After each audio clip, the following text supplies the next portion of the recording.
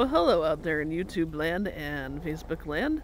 I'm recording on my trusty old little flip camera, seeing if it still works, and apparently it does. I had to dust it off a little bit and put uh, some new batteries in it, and it's working pretty good. So today is 10 11 12. Isn't that kind of cool? 10 11 12. Yep. So mark that date something important happened on this date somewhere in the future, or present, as it were. But that's not why you're here with me today. Today, there we go, that's better. I'm actually outside here uh, at the Tellico, actually the Loudon uh, recreation area in uh, Tennessee. And the sun is actually in front of me, that's why I'm shooting this way. And I hope you can see the lake here in the background or at least hear it. Here, I'll do a better shot. There's a little cove here. Got some cool thing happening with the log. That's kind of pretty. And the sun is going down. I'll show you the sunset over here. Don't. You can't. Don't watch your eyes. Blinded by the sun. Got a nice golden thing happening there behind these bushes. So, yeah. So, figure I'd talk a little bit.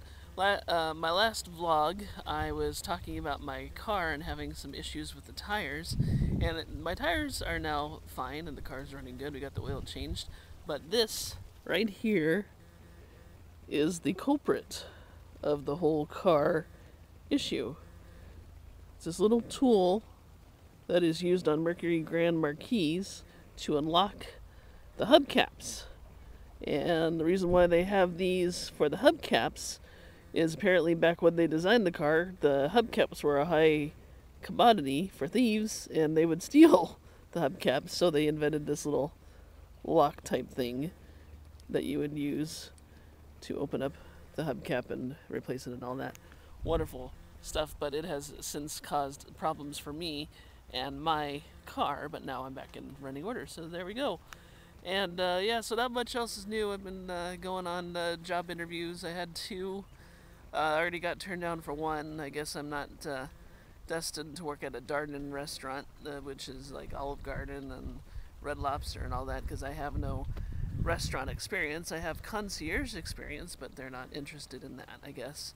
I keep telling my mom that I might be a little too old to be working at a restaurant, because I've seen the staff that they staff there, and the staff is pretty young but who knows? And I might be overqualified too, as well. But that's my opinion. So uh, I had an interview somewhere else, and I'm waiting to hear back on that because I'm supposed to get a uh, second interview, which would be nice.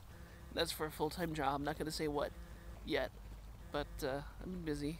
And I applied to some more jobs today and went out on a job fair. My mom uh, kind of took me somewhere where she heard was having a job fair, and I went there and there were quite a bit because it's getting close to the holidays, seeing that it's October. I was at a uh, Kohl's store a couple days ago, and they've already got their uh, Christmas decorations setting up. I thought that was a bit strange, but you know, they gotta start decorating early, I guess, especially if they use a lot of decorations. But yeah, that's what's going on here. Um, I will post when I get a job, hopefully soon, because I really need money. Uh, I did file for unemployment with California, and I was following through on that, and all of a sudden I've stopped hearing from them, so I don't know what the dealio is with that, and quite frankly, I'm tired of it because there's nobody in the unemployment department who really wants to talk to you. You always end up talking to a recording, and it's very annoying. So, yeah, those of you who are unemployed, you know what I'm talking about. But uh, reason why I go over here is because it's pretty. You got the lake I've mentioned this lake before. This is the same lake that's over by the dam. This is just the other side of it. On the dam side. on the lake side, I guess. And this is a 30 mile lake. So it's pretty huge. And there's, there's a, I don't know if you can see that, but there's a boat fishing off there in the distance. Just behind the tree. And that's why it's cool to sit here because you can park your car back there and watch the boats go by. And there's some pretty impressive boats out here. And I've seen a couple yachts go by.